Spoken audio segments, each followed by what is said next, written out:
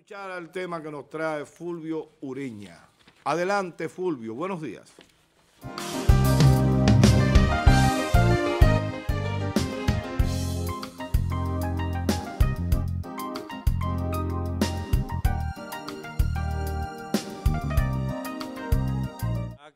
Eso, ¿qué es lo que pasa? vámonos, vámonos al tema, ¿y qué fue? Que hacerte otra foto, definitivamente. Pero que hay fotos y yo se le envié a... Se le envié al control Sí, sí, y, la nada, nada, nada. Están en eso, están en Bueno, señores, atención a los productores de cacao. Ah, bueno. Atención a los productores en general, aquellos que tienen tierras baldías. Hoy vamos a tratar el tema de la burbuja del precio del cacao. Ay, Dios mío. Señores, cuánta cosa. Me dicen que están ah, con el grito al cielo. Ay, ay, ay, ay, ay. Yo tengo aquí unos Cuando cálculos. debieran estar gritando Sí. de de alegría. alegría. Yo Porque envié- 24 mil o 21 mil está muy bueno. Yo envié a producción algo ahí que quiero que lo vean. Pero tú sabes cómo lo contrataron. A A 8. 21 mil. No, no, no, la otra, la otra foto. Donde aparece, no, la otra foto donde aparece un joven ahí en las plantaciones de cacao. Ahí, ahí. ahí está ese joven dentro de las labores de, eh, del cacao. Después que el cacao se pica, entonces hay que sacarle el corazón, hay que eh, trabajarlo para luego medirlo en las famosas eh, cubetas. Descorazonarlo se llama. Descorazonarlo. Eh. Es un nombre medio, medio Sí. fuerte. Y todo eso eh, son ah, eh, productos que se pueden usar para muchas cosas. Bien, vámonos inmediatamente al precio, señores. La primera imagen, donde aparece el cacao ahí, donde aparece el cacao, esa imagen, esa imagen.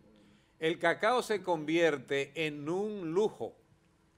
Su precio se dispara a 7 mil por tonelada y rompe máximos históricos. Eso era en enero. Eso fue en enero. Luego, pasemos a la otra, a la otra parte que, que me interesa también. Lo que sucedió eh, un mes después, básicamente. 10 mil. No, no, esa es la última. Vámonos a la anterior a esa. A la anterior a esa. La anterior, la anterior a esa. Ah, ya. Ah, ok, ok, ok. Ahí tenemos ya en a principios de marzo que aparece el precio del cacao a 9 mil a 9.167 dólares la toneladas. Estamos hablando de una tonelada de 22 quintales, estamos, eh, que son mil kilos. Estamos hablando en precio de bolsa, en precio internacional, que ha sucedido con esta burbuja. Vámonos entonces al último precio, que es el precio que hubo, que hubo eh, el 26. Hoy, hoy estamos a cómo? A 27 no estamos ahí. El precio que hubo ayer, el precio de ayer, la, la otra imagen, la otra imagen, ese, miren eso, A 10 mil. 10.020 y ya hoy amaneció a 10.080. Se evidencia que hay una burbu- burbuja especulativa en la bolsa de valores con esto. Entonces, antes de decir a qué se debe eso y qué podemos esperar, vámonos a lo siguiente. 10 mil 20 dólares actualmente. Eso implica un crecimiento en un año en el precio de 371% del precio del cacao. Y cuando usted toma esos 10 mil 20 dólares y lo multiplica por 59, que es la tasa, usted va a encontrar que una tonelada de cacao cuesta en el mercado de bolsa de valores 591.180 pesos. Cuando usted lo divide en 22 quintales, sale cada quintal en precio de bolsa de valores 26.872 pesos. Pero ¿qué sucede? Hay una media, un promedio que una mazorca de cacao tiene 45 gramos. Y hay un promedio que de cacao bueno, mil mazorcas es un quintal. Entonces yo me tomé el oficio de 26.872 pesos, dividirlo entre mil mazorcas. Cada mazorca está saliendo en 26.87 pesos. Y cuando usted la divide entre los 45 granos promedio, cada grano de cacao está saliendo en 59 centavos de pesos. 59 cheles. Dos granos, un peso con 20 Yo centavos. Dos decía granos de cacao que- en bolsa de valores. Mira, yo por eso decía el día pasado que hubo una noticia, vimos una noticia en la que productores de, de cacao se estaban quejando de los ladrones. Digo, no va a dejar, no van a dejar una mazorca, porque hasta tres mazorcas le va a resultar un negocio. Claro, claro, claro. E- Eso ya es otra cosa. Entonces, ¿a qué se debe esta burbuja especulativa? Costa de Marfil y Ghana. África tiene el 70% de la producción de cacao del mundo, el 70%. Nosotros aquí producimos, eh, no llegamos casi ni a un 1%, pero es un cacao de superior calidad.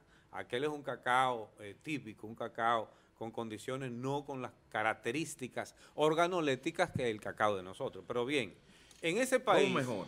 en ese país vinieron en esos países grandes inundaciones primero, luego grandes sequías.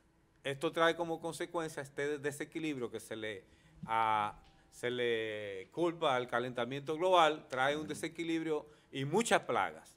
Y el 40% de la producción esperada no llega al mercado y no ha llegado al mercado y no va a llegar al mercado. Por eso los corredores de bolsas andan buscando este producto a futuro y están comprando a futuro y ha creado una burbuja especulativa que ha llevado el precio del cacao a máximos históricos nunca antes visto. Otro tema es que una producción de cacao, de frutal o cualquier otro producto, usted mínimo necesita cinco años para recuperarla. Si es que se, se pone a trabajar en eso, para poderla recuperar, estabilizar y volver. El cacao se da a 70 grados norte, 70 grados sur. Es totalmente tropical. Y las plantas, señores, con el calentamiento global, están locas. Los árboles están locos. Por eso algunos viejos me dicen, ven acá, pero debió de florecer ahora y floreció hace dos meses, o debió de florecer ahora y, y va a florecer dentro de dos meses. Hay un distorsionamiento. Adaptarse a esos cambios le cuesta también tiempo como especie evolutiva. Por lo tanto, estas condiciones que ahora pasaron en África pueden pasar en otro país para otro cultivo. Y también los expertos en estos temas atestiguan, aseguran que va a pasar lo mismo con el café y que va a pasar con lo mismo con los bananos, con los guineos como nosotros lo conocemos. Mientras tanto, el cacao tiene ese atractivo y nosotros como país, bendecido por Dios, que siempre nos trae los frentes fríos, los vientos alisios, las corrientes de los tiempos huracanados, que nos trae lluvia, nos trae agua, tenemos cierta bondad, cierta bonanza, solo que poco espacio de terreno, pero hay que aprovecharlo en la mejor de los casos. Este caso de cacao, de acuerdo a los expertos, es posible que esta burbuja especulativa se estabilice un poco hacia abajo, pero que dure en el tiempo más de cinco años. ¿Cómo? buen momento para los productores de cacao, y yo espero que pase lo mismo con el café, porque no es que no quiero café, sino que quiero mejores condiciones para los productores, para que me llenen las montañas de árboles con café y así podemos tener lo más seguro que es el agua, la producción de oxígeno, la captura de carbono. En fin, el precio del cacao, señores, ha llegado a máximos históricos y nosotros como eh, el presidente lo declaró un cultivo especial de alta importancia para República Dominicana por ser protector de toda la cuenca media de los principales eh, fuentes acuíferas. Julio, pero en buena eh, hora. escúchame que te interrumpa, pero ¿qué pasa entonces con los productores que contrataron, hicieron una contrata, Ya. normalmente en los campos se utiliza eso, que se contrata Sí. ante- anterior a, a la, a la cosecha, Y entonces, en el caso de muchos productores, Sí. contrataron a 7 mil, 6 mil, 7 y 8 mil pesos. Ya entonces entra- ahora el precio se ha duplicado. Ya. no quieren entregar y los, Entonces pro- y, los, y, resulta- los, y los importadores no quieren pagar. Entonces resulta que los trabajadores ya no cobran lo que cobraban, porque como saben que el cacao está más caro, la tumba, la, la- la cosecha del cacao eh, a nivel laboral se ha puesto mucho más cara. Sí, ya ahí entra la relación de contrato empresa-cliente, cliente-empresa.